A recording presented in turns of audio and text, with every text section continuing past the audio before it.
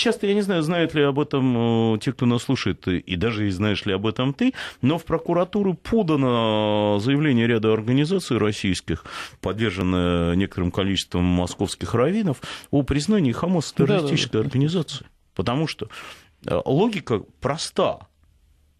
Эта организация, обстреливая Израиль, вообще палит примерно по трети миллиона выходцев русскоязычных, среди которых около 100 тысяч граждан России.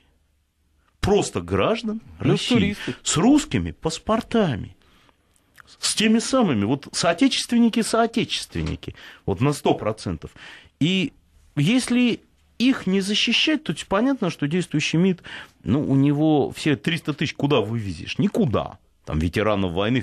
А вот там человек 20 из газа можно вывести, сказав, что тут не спровоцированная всего-то 3000 ракет и мин выстрелили, после этого начинается воинская операция а, чего-нибудь, и поселенцы как-то вот это тоже, наверное, противоречит и замедляет. Жень, давай все-таки вернемся, а то мы сейчас так ушли, ушли по красивой ушли по дуге. А, а нам придется, знаешь, почему к этой дуге возвращаться? Внутри России, и мне это дико не нравится, продолжается очень серьезная протурецкая кампания. Конечно. Она очень активна в Татарстане.